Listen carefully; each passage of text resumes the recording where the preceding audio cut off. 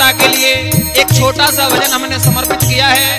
मैं मनीष, हमारा साथ दे रही हैं पिंकी शास्त्री सैलामू करेल से।